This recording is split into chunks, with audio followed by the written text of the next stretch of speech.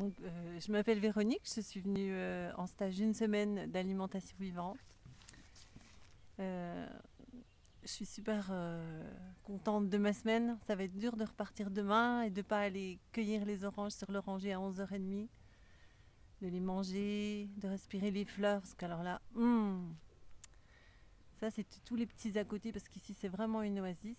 C'est pour moi, c'est un petit peu, euh, c'est proche de l'Éden, de ce qu'on peut imaginer, voilà, du paradis terrestre. On est vraiment seul, c'est calme la plupart du temps.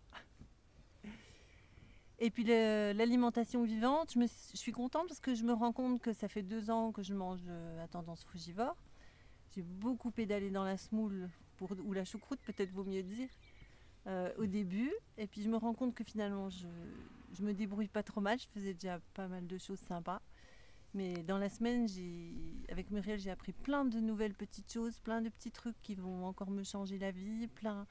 J'ai découvert encore plein de nouvelles saveurs parce que depuis que je mange plus cru, je trouve que tout est meilleur, que tout est plus joli, plus coloré et puis délicieux. Et alors là, cette semaine, c'était vraiment encore plein de découvertes.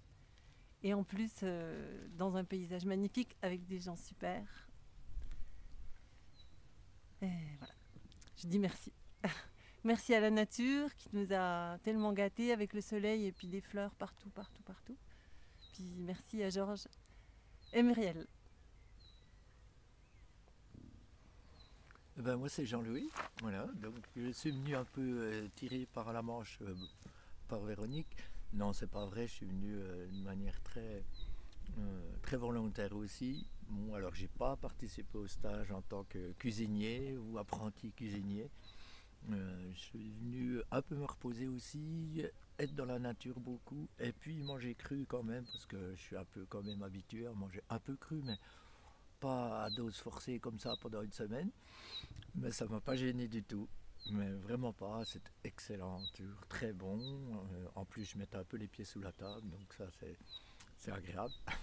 non, c'est surtout le fait d'être dans un bel endroit avec des oiseaux. J'ai fait beaucoup de balade. Je suis, allé me promener avec Georges aussi, qui m'a montré plein de coins superbes, des beaux arbres. Hum, et voilà, j'ai beaucoup profité à la fois gustativement des yeux, des oreilles pour les chants des oiseaux.